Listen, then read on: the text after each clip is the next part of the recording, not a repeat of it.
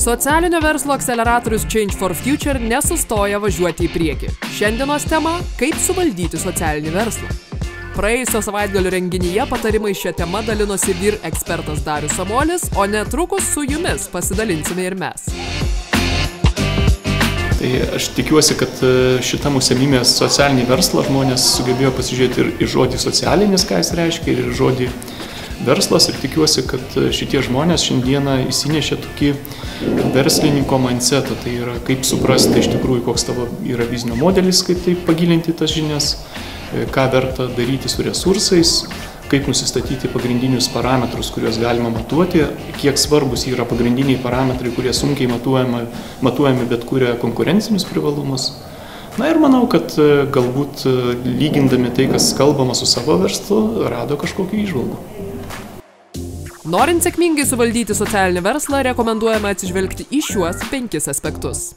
Sukurkite našę aplinką, kurioje jūsų komanda noriai dirbtų. Tinkamai bei pozityviai sukurta darbo aplinka tai itin svarbus socialinio verslo aspektas siekiant išlaikyti ne tik pašėlusią atmosferą darbe, bet ir aukštą produktivumą, kūrybiškumą bei darbo našumą. Suburkite talentų komandą. Aplink save ir savo idėją drąsiai burkite kompetitingus, didelę patirtį turinčius savo srities ekspertus iš įvairių jūsų verslui aktualių sričių. Nebijokite kviesti savo bendraminčių tapti bendra įkūrėjais bei akcininkais. Apsupkite save tokiais žmonėmis, kokie geriausiai tinka jūsų socialinio verslo idėjai.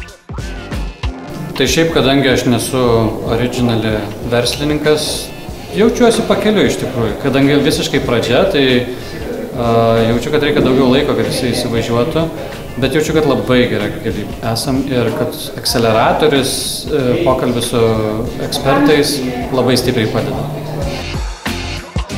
Pasidalinkite atsakomybės. Viena didžiausių pradedančiųjų socialinių verslininkų klaidų yra noras viską padaryti patiems.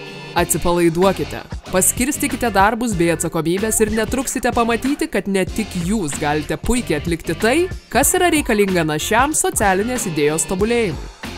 Sukurkite sėkmės strategiją. Sėkminga socialinio verslo ateitis stipriai priklauso nuo to, kiek atviras jo kuriejas yra su savo komanda, kai kalba pasisuka apie sėkmės strategiją.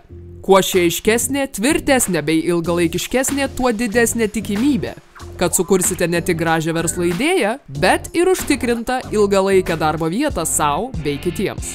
Nepamirškite, niekas nėra nepakeičiamas. Padėkite savo komandai tobulėti. Puoselėkite savo dabartinės komandos įgūdžius bei sugebėjimus. Rūpinkitės jų kompetenciją, skatinkite ją auginti, įgauti naujų įgūdžių. Tobulų komandų gal ir nebūna, tačiau tokiamis visuomet galima tapti. Tai tiek patarimų šiandien iš Change for Future socialinio verslo akceleratoriaus ekspertų, kaip suvaldyti socialinį verslą. Change for Future komanda labai dėkoja Kaunas Coding School už patalpas bei šiltą šiltą prieimimą.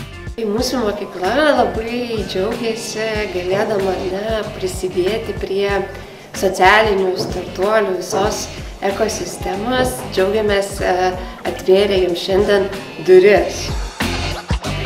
Norėdami sužinoti daugiau informacijos, ieškokite Change for Future Facebook'o paskyroje arba mūsų internetinėme puslapyje.